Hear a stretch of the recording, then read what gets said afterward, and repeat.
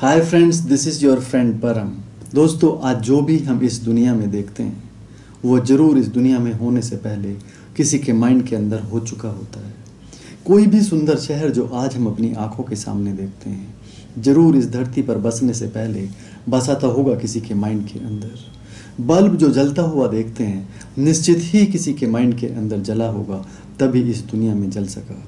Aeroplane जो आसमान में उड़ता है आसमान में उड़ने से पहले एक दिन ज़रूर उड़ा होगा किसी के माइंड के अंदर। शिप भी पानी पर चलने से पहले निश्चित ही चला होगा किसी के अंदर।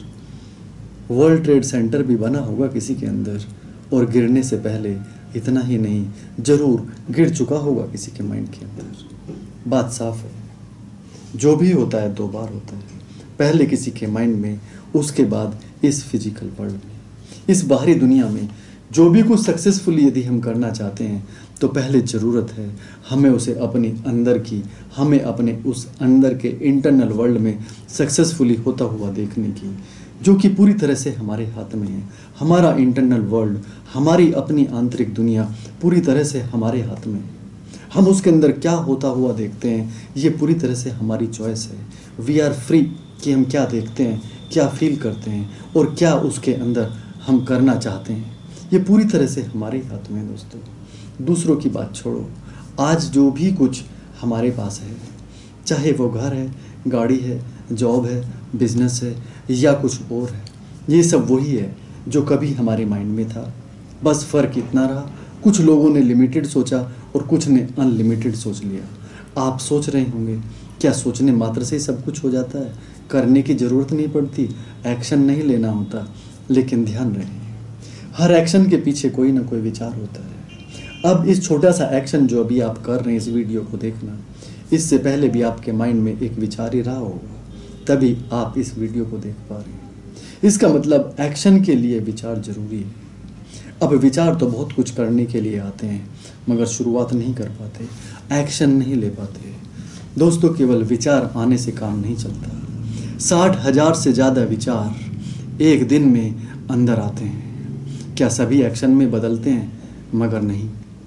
जिस विचार को भी हम इमोशनल लेवल पर जी लेते हैं माय डियर फ्रेंड्स फील कर लेते हैं, उसमें डूब जाते हैं, उसको लगातार हम जीने लगते हैं, उससे मिलने वाली खुशी का एहसास हमें लगातार होने लगता है तो हमारा सबकॉन्शियस माइंड हमसे, उस एक्शन से रिलेटेड जो भी ज़रूरी एक्शन है, कराना शुरू कर देता है।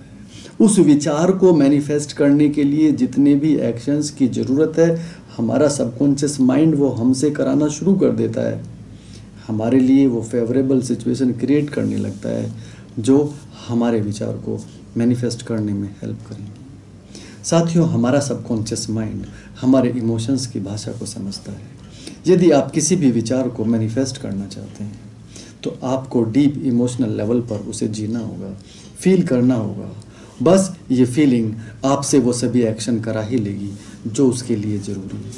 और यदि आप एक्शन नहीं ले पा रहे हैं तो मतलब साफ़ है, आपने अभी उसे जिया नहीं, आप अभी उसमें डूबे नहीं, आपने उस विचार को अभी फील नहीं किया, आप इमोशनल लेवल तक अभी पहुँचे नहीं। जस्ट आप इमोशनल लेवल पे फील किए, उसे जिए, आप उसमें डूबे और आप पाएँगे कि धीरे धीरे अब आप सब वो करते जा रहे हैं जो उसके लिए ज़रूरी है। और आप देखेंगे कि आपकी लाइफ चेंज होने लगी। निश्चित ही पॉजिटिव रिज़ल्ट आपको मिलेंगे। बस ज़रूरत है उसे आप काइनेस्थेटिक लेवल पर फील करें। ज़रूरत है आप उसमें इन्वॉल्व हो जाएँ। पहले विचार में इन्वॉल्व हो जाएँ।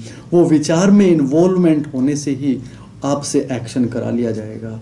आप नहीं रोक पाएँगे अपने आप को। आप एक्शन करने लगेंगे। और तब आप एक्शन करेंगे तो निश्चित डिज़ायर्ड रिज़ल्ट आपकी लाइफ में आने शुरू हो जाएँगे धीरे धीरे पाएँगे कि आपकी लाइफ चेंज होने लगे। कीप ग्रोइंग इन लाइफ जल्दी ही मिलते हैं नेक्स्ट वीडियो में। Wish you all the best thank you